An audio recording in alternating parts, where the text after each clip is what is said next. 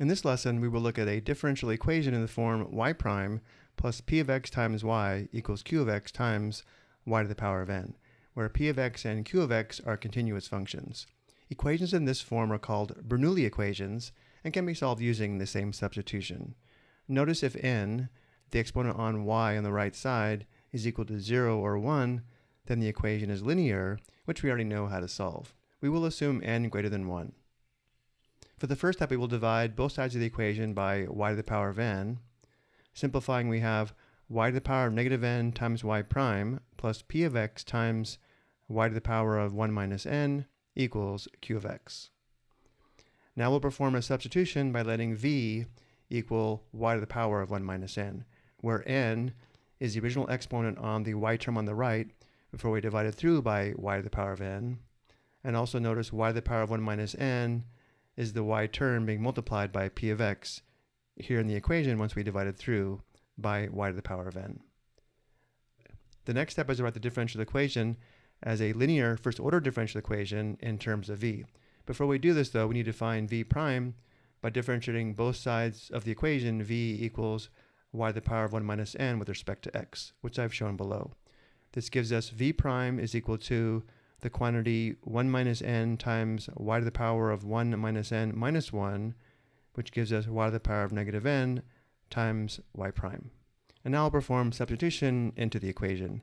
Using the equation for v prime, notice y to the power of negative n times y prime is equal to v prime divided by the quantity 1 minus n, or if we want 1 divided by the quantity 1 minus n times v prime.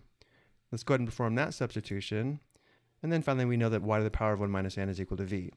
Notice now we do have a linear first order differential equation. Recall that 1 divided by the quantity 1 minus n is just a constant.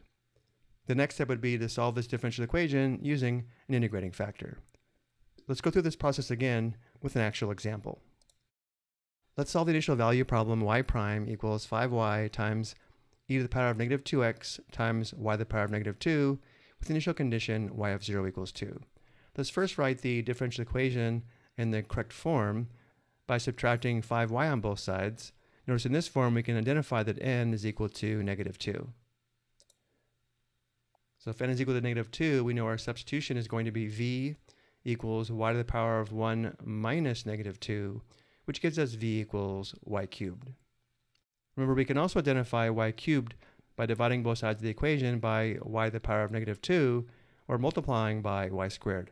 Let's go ahead and multiply both sides by y squared. Notice this gives us y squared y prime minus 5y cubed equals e to the power of negative 2x. Notice the second term on the right has y cubed, which is what we set v equal to.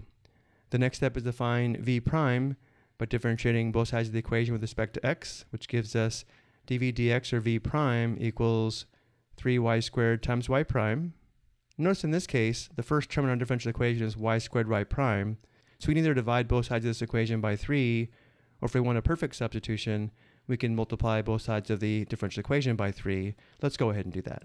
Multiplying both sides by 3, we have 3y squared y prime minus 15y cubed equals 3 e to the power of negative 2x. And now performing substitution, 3y squared y prime is v prime, and y cubed is equal to v. Now we have a first order linear differential equation, which we can solve using an integrating factor. And here are the notes on how to do that if you need the review. Let's take this differential equation onto the next slide and solve it using an integrating factor.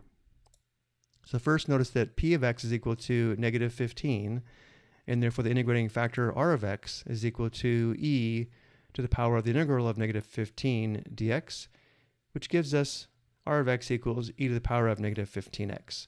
The next step is to multiply both sides of the differential equation by e to the power of negative 15x. Now the left side of the equation is equal to the derivative of the integrating factor and the dependent variable v. So we can write the left side as a derivative of e to the power of negative 15x times v with respect to x. On the right side, we can simplify as well. e to the power of negative 15x times e to the power of negative 2x is equal to e to the power of negative 17x. The next step is integrate both sides of the equation with respect to x. On the left, the integral undoes the derivative, leaving us with e to the power of negative 15x times v. On the right, we need to perform u substitution, which I've shown here in blue. u equals negative 17x, du equals negative 17 dx, which indicates dx is equal to negative 1 17th du. Integrating, we have negative 3 17ths times e to the power of negative 17x plus c.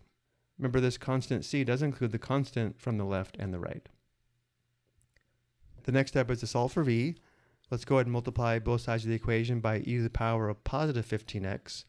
e to the power of positive 15x times e to the power of negative 15x is equal to e to the 0, which is 1. So on the left we have v.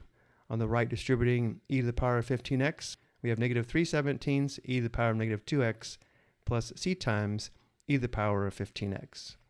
Before we use the initial condition to find c, we need to write the equation back in terms of x and y. Recall v is equal to y cubed, which gives us y cubed is equal to negative 3 17ths e to the power of negative 2x plus c times e to the power of 15x. Using the initial condition y of 0 equals 2, we substitute 0 for x and 2 for y. Simplifying, we have 8 equals negative 3 17ths plus c, giving us c equals 139 17ths. So now we're almost done. We now know y cubed is equal to negative 3 17ths e to the power of negative 2x plus 139 17ths times e to the power of 15x. The final step to solve for y is to take the cube root of both sides, giving us y in terms of x. I hope you found this helpful.